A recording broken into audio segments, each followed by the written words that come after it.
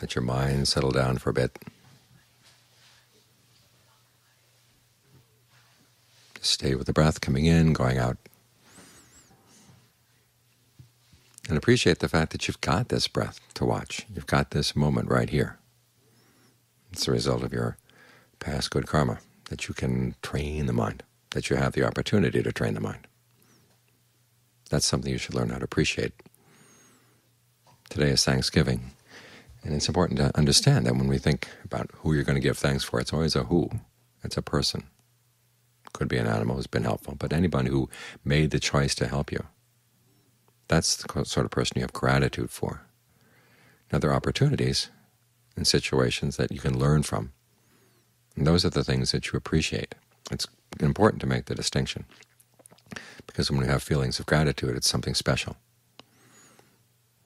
We recognize the fact that people have choices, and there have been people who have chosen to help us. And that's something really special. You want to appreciate that, both because it helps you to remember their goodness and to try to repay it, and also to pass it on to other people. Because if you don't appreciate the goodness of other people, the times they've gone out of their way to help you, it's very unlikely that you're going to go out of your way to help other people. So this is one of the ways we pass goodness on in the world is through gratitude. You think especially of all the hardships your parents went through, just to make sure you'd be alive and have food on the table. Learn about the world. The hardships of your teachers.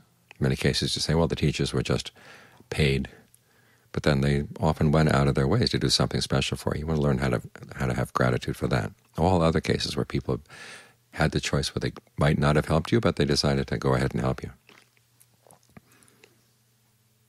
It's good to have gratitude for that because it not only helps you appreciate what they've done and understand that really was special, it also gives you a sense that you're special, you're worthy of somebody's help, and so you want to make yourself worthy of that help. They saw that you were worthy, now you want to make yourself worthy. And so it's a good incentive to the practice. The monks, for example, are taught to th think every day of all the people who've contributed the food they've had, the food they're taking, the clothes they're wearing, the lodgings they're staying in, the medicine they get to look after their diseases.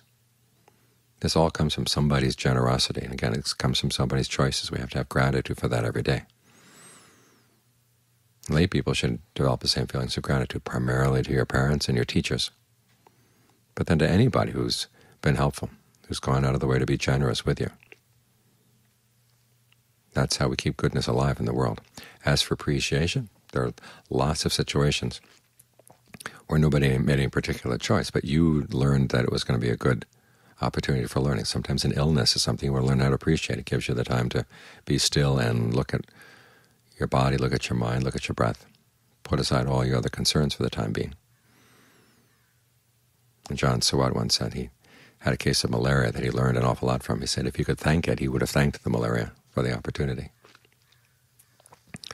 So learn for the, look for the opportunities, not where anybody has made any particular choice, but there are opportunities for you to learn from. Those are things you should appreciate. And when you understand the difference between gratitude and appreciation, it helps sort things out as to what your duties are.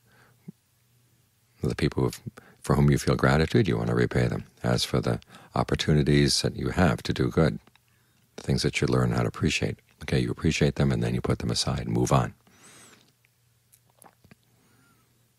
That way you get the best out of everything and everybody around you. And then you, of course, will have more to share.